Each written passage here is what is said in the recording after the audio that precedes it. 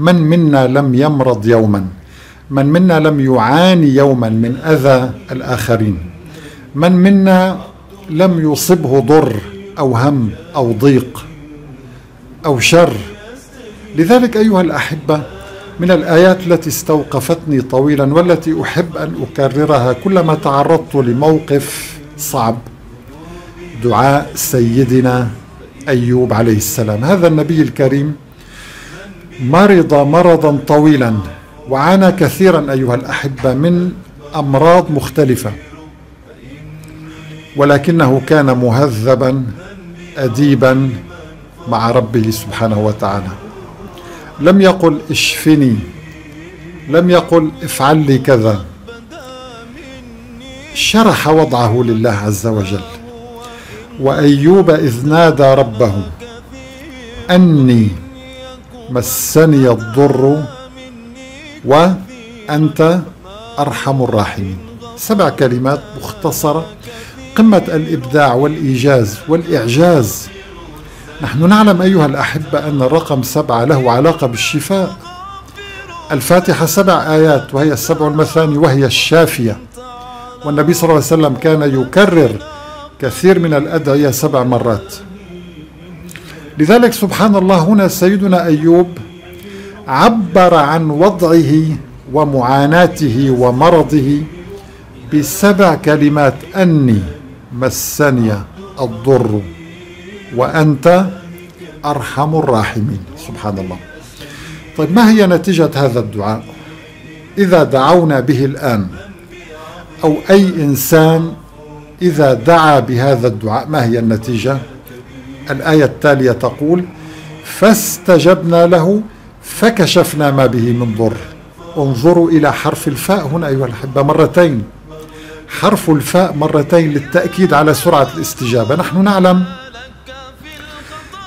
من خلال لغة القرآن اللغة العربية الرائعة أن حرف الواو واو العطف استخدم للتراخي لوجود زمن فترة زمنية معينة. أما حرف الواو فيستخدم لسرعة إنجاز الفعل لتتابع الفعل يعني حرف خاطف يدلك على سرعة وقوع الفعل. لذلك الله سبحانه وتعالى استخدم هذا الحرف ليقول لك أيها الإنسان أيها المؤمن إذا لجأت إلى الله واستسلمت بين يدي هذا الخالق العظيم واعترفت بضعفك. رب إني مسني الضر.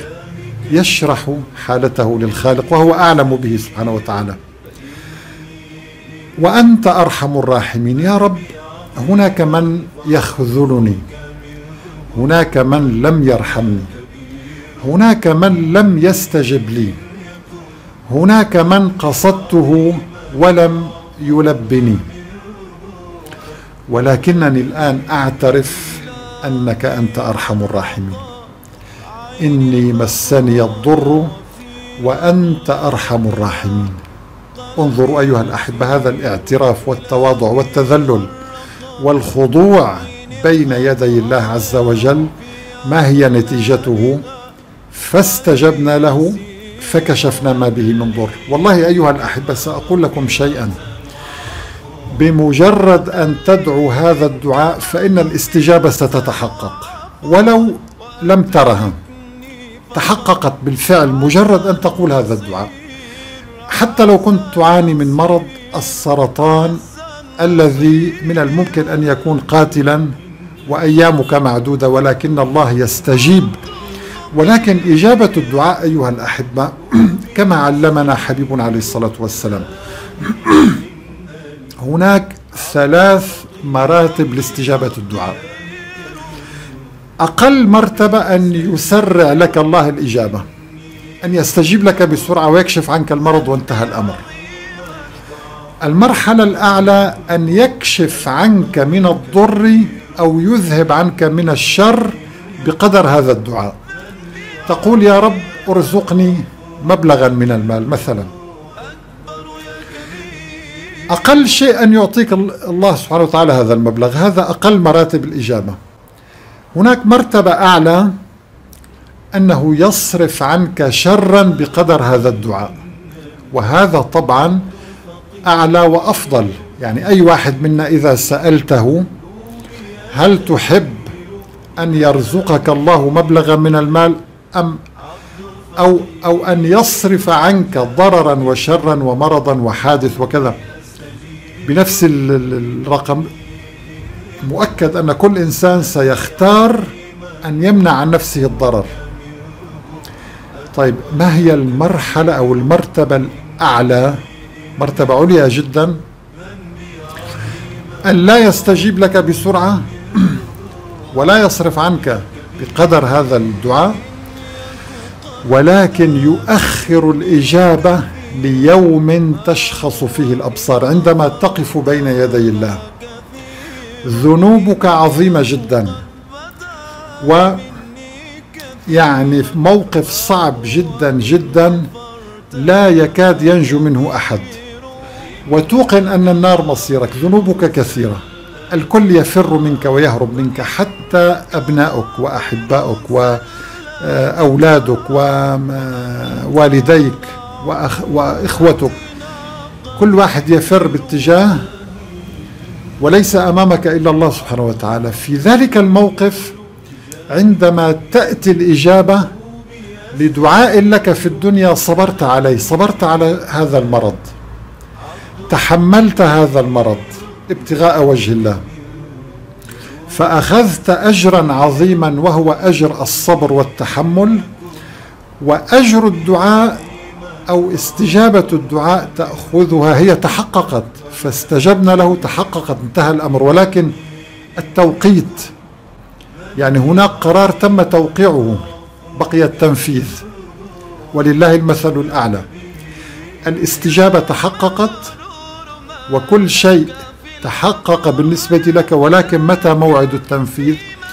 إذا كان الله يحبك يحبك وإذا كنت يعني عظيما عند الله لك شأن سيؤخر لك الإجابة إلى يوم القيامة.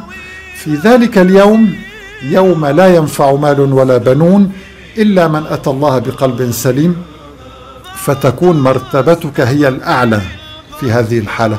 وبالتالي أيها الأحبة يعني أنا عندما أدرك هذه الحقائق أرتاح جدا. أنا شخصيا أرتاح حتى لو أصابني شر وأعلم أن الله يؤخر لي الاستجابة لأنه يحبني. يريد أن يعطيني الأجر مرتين. مرة أجر الصبر والتحمل في الدنيا ومرة في الآخرة يستجيب هذا الدعاء فينقذني من موقف صعب أو يغفر لي خطيئة كبرى أو يصرف عني شرا في ذلك اليوم فأكون من الفائزين برحمته سبحانه وتعالى. وأخيرا أيها الأحبة رجاء احفظوا هذه الكلمات الرائعة رددوها دائما.